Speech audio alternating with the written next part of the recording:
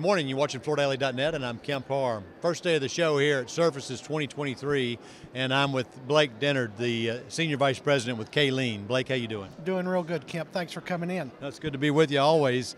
What I would like to do is first talk about the show. You were just uh, telling me a minute ago how uh, you're, you're, pretty excited about what's going on here, right? Absolutely. We're off to a great start uh, from the get go. Right at 9 o'clock, the doors opened up and people started barreling in.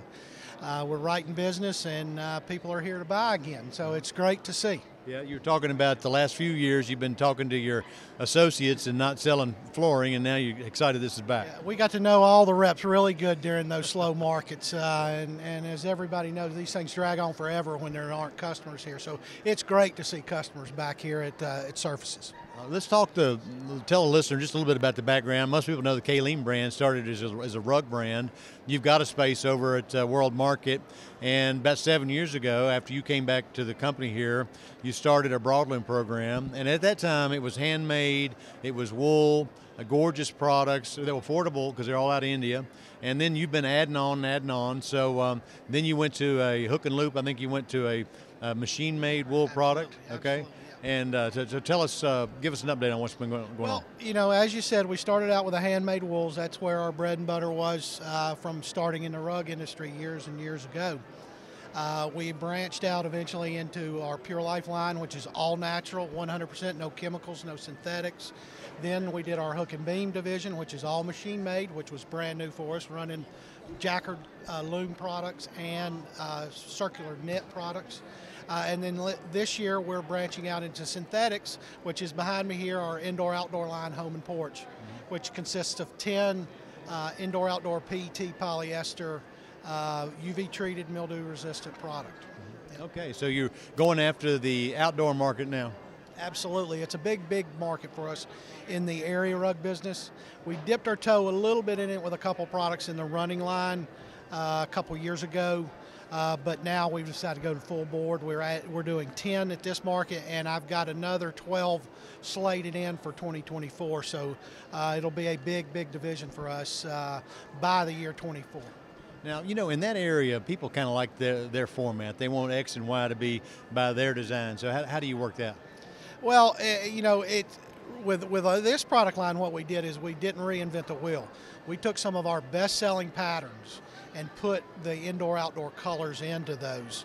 So we know those patterns sell. They sell every single day for us in, in the high end business. So we really have able, been able to take a, a, a product pattern we know sells. We use some colors from the field that we know move in the indoor outdoor category. And then we made it in a product that's soft to the touch, has a good feel for the consumer because there's so many coarse products uh, in the indoor outdoor arena uh, from a, lot of our competition that have a very plasticky feel. This doesn't have that. This feels like wool, it looks like wool, but yet it's, it's durable enough to go outdoors. So we're thinking we get a lot of outdoor business, but a lot of indoor business too from parents that want to clean up easy.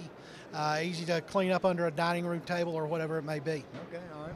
So um, your customer base, well, a minute ago I talked about the fact that your products are affordable, but uh, I mean it goes into luxury homes. So as we've looked a little bit of a dip in what's going on with demand right now, your customers are still there, right? In, in the broadloom side of our business, absolutely. We're, we're going full board. Um, we, we've seen double digit increases uh, with our broadloom line since we started this. We've, we've seen it in 2022. Again, uh, a lot different than what we see on the rug side. The rug side is a very, very big challenge right now. Um, we were down single digits, and I'm thrilled to death with that last year because there are a lot of people down double digits. Mm-hmm. Uh, it's a struggling market. Um, fortunately, we've got the broadloom now, so we're able to fall back on that, and that's that's really where we're making our hay now. Now you mentioned there's a line called Luxe. Tell me about that. Okay, Luxe. Yeah, we took uh, some products from our hand knotted division. Uh, on our rug side, and we're doing a program now called Luxe where we have 30 SKUs in that line uh, we will either do a hand serging finish for custom sizes. We'll get to that get that end user the product within 150 days, usually faster, which is very fast for a custom size hand knotted rug. But the other uh, application we have there is we'll put an ActionBac and a cotton canvas on it so it can be installed wall to wall. Uh, which is unheard of to have a knotted product that can be installed wall to wall. That's that that's a new creation totally for the marketplace. So Luxe will have that capability. We'll we're selling samples now. We're selling rugs now. Uh, we'll be servicing that product in April uh, from Dalton. Okay. You mentioned uh, time frame. That leads me to a question about supply chain. Uh, have you been catching up on that? Absolutely. That's getting much better. Containers are flowing much easier. We're not seeing those exorbitant container prices still. They haven't gotten back to where they were, Yeah. but it's much better than where we were at the height of it. Uh, the availability of those containers are better now, so things are able to flow a little more smoothly. Once they get to a port here in the U.S., they, they're a little bit quicker to flow through. It's still a little bit delayed from where we used to be, but it's definitely flowing through a lot better than it was at the at the height of it.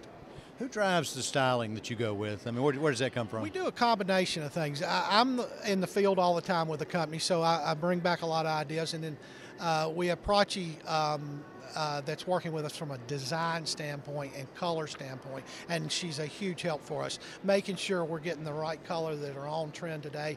She goes out and travels with me in the field about once a quarter, uh, and then we go to India together uh, about three times a year uh, to, to keep that process going. Like we're going in uh, three weeks, uh, and we'll be finalizing our 2024 introductions at that time and starting to work on our 25. So you, you really got to stay on top of the curve and stay out in front of it, or we'll be here at Surfaces working on product that won't show up for two years.